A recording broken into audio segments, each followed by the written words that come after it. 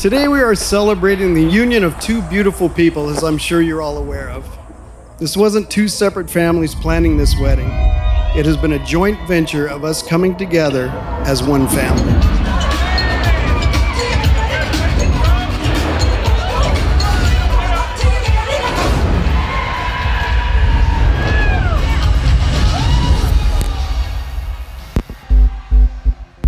Poor husband has had to listen to me every single night tell him, Mark, I don't think I can physically get up in front of all these people and give a speech. I don't think I can physically do it. Well, I'm happy to report I'm here, physically doing it. So let's all give a round of applause to alcohol.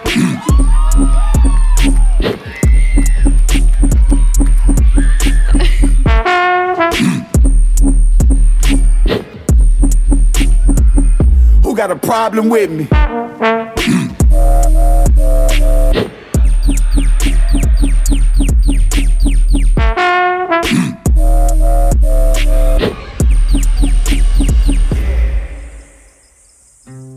Taylor, we've been through it all, whether by choice or not, the good and the bad, and everything in between. She was always impressed me with her calm demeanor and drive for what she wants. She's so articulate and sure of herself.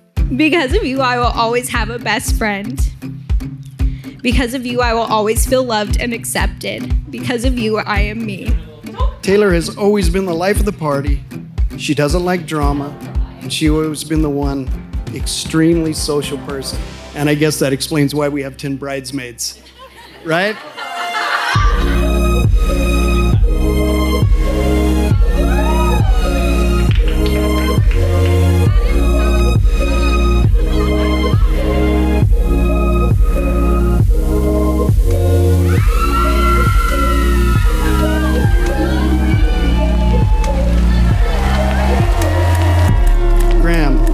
For Taylor is my proof that sometimes people are just meant for each other. I liked you from the moment I met you. I see how much you love Taylor. You're like an old soul. You do things for Taylor that I do for Tammy. And that makes me love you also. My son has found someone that completes him, that I feel so good as a parent knowing that they're together. It's kind of like the end of this long journey, and it's so comforting. Today is the day I had always been waiting for, the day I get to marry Taylor Thompson. I knew from the very moment I first laid eyes on you that you'd be my forever soulmate. There was something about you that I needed and I wanted. Your smile, your amazing eyes, green, your contagious personality, and most of all, most beautiful girl inside and out. They say that persistence is key, and this is a prime example of what persistence can achieve. You came into my life at the most perfect time.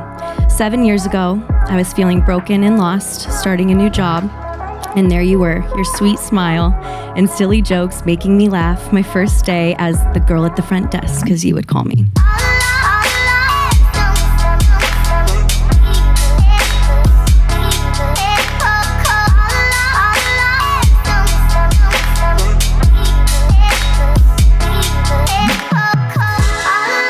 And you know what? You guys are so great. I'm just, I'm so happy. I'm so happy for you, Graham, because you waited. You know, you just don't give your heart away to anybody. You gave it away to Taylor. Like I said, I'm honored to provide for you and start a future family together. There is no one else I would prefer to grow old with. It's going to be weird seeing us get all old and wrinkly, you know, but that's what life is about and have someone to do it with. That being said, I will never stop being the best I can be, not only for you, but for our future family as a whole. I'll love you forever, Taylor Marie, soon to be Hart. Um, you're both so full of amazing qualities. Uh, I know you two are going to just thrive together. Um, you know, a- a- and, and I would say a standout for me, for the both of you, is uh, your inclusiveness.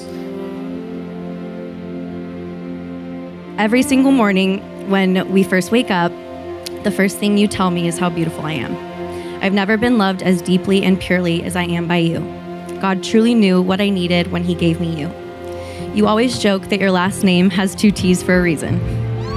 well, this was the reason, and you really are my answered prayer. You make me a better person and make me whole. I can't wait to do this life with you. I love you.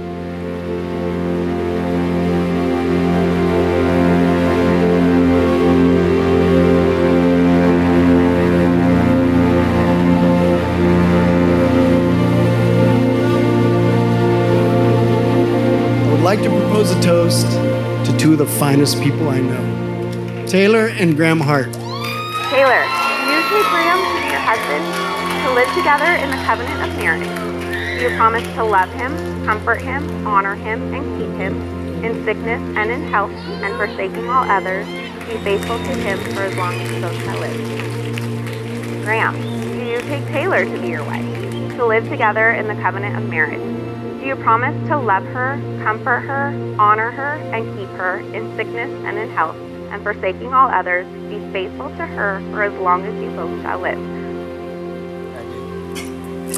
By the power vested in me, I now pronounce you husband and wife. Graham, you may kiss your bride.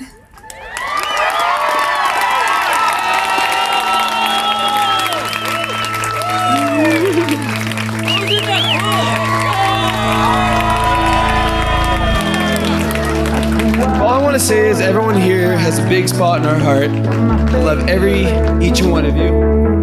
I'm honored to have you up here, and you better be honored to be at our fucking wedding. You know, so just saying, if you're not having fun, you better kick it up a gear. So, uh, that being said, love you all. Thank everyone, and watch this.